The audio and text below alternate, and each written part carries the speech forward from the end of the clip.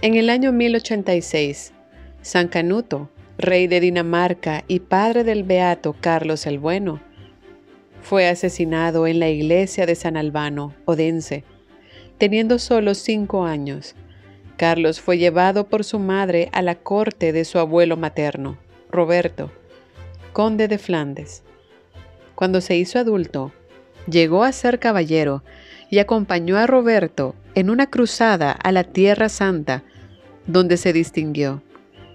Cuando volvieron, Carlos luchó también con su tío contra los ingleses. Al morir Roberto, su hijo Balduino lo sucedió y designó a Carlos como su heredero. Al mismo tiempo, planificó el casamiento de Carlos con la hija del conde de Clermont. Durante el reinado de Balduino, Carlos se asoció estrechamente con él, y el pueblo llegó a estimarlo en alto grado por su sabiduría y santidad personal. Al morir Balduino, en el año 1119, el pueblo hizo gobernante a Carlos, su primo. Carlos dominó su pueblo con sabiduría, diligencia y compasión. Se aseguró de que los tiempos de tregua fueran respetados y luchó contra vendedores del mercado negro que acumulaban alimentos y esperaban venderlos a precios astronómicos a la gente. Por esto, incurrió en su ira imperecedera y un día, en el año 1127, mientras Carlos rezaba en la iglesia de San Donato, lo atacaron y mataron.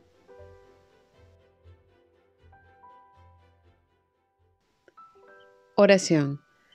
Oh Dios, omnipotente y eterno, tú capacitaste al Beato Carlos a luchar a muerte por la justicia. Por su intercesión, ayúdanos a llevar toda adversidad y a pegarnos con toda fuerza a ti, que eres la vida. Amén.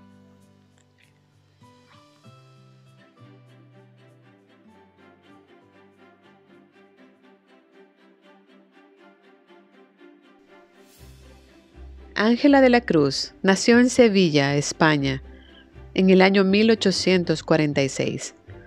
Desde temprana edad sintió gran devoción hacia el Cristo crucificado.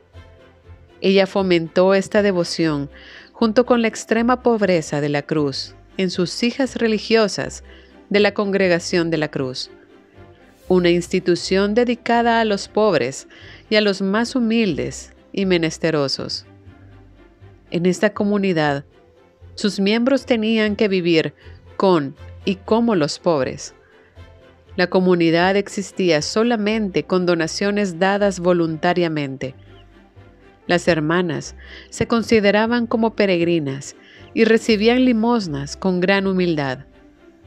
Además, la pobreza que abrazaban las hermanas de Santa Ángela debía ir más allá de una privación contemplativa se les pedía que trabajaran con las familias pobres, los huérfanos y los enfermos, y dieran enseñanza fundamental tanto a los niños como a los adultos.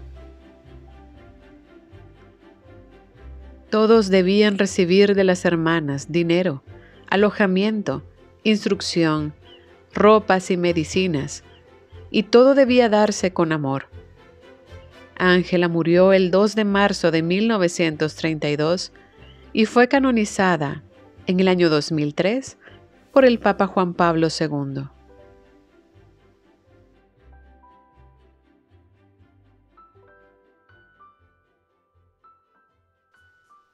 Oración.